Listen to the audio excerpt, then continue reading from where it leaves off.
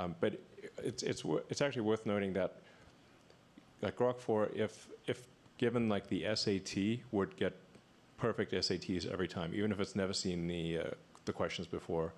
Um, and if even going beyond that to say like uh, graduate student exams like the GRE, uh, it will get near perfect results in, in every discipline of, uh, of education. So from the humanities to like languages, math, physics, engineering, pick anything, uh, and we're talking about questions that it's never seen before. These are not on, not on the internet, and it's Grok 4 is smarter than almost all graduate students uh, in all disciplines simultaneously.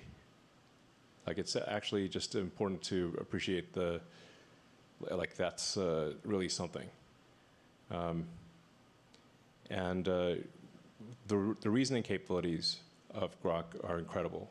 Um, so there's some people out there who, who think AI can't reason, and look, it, it can reason at superhuman levels.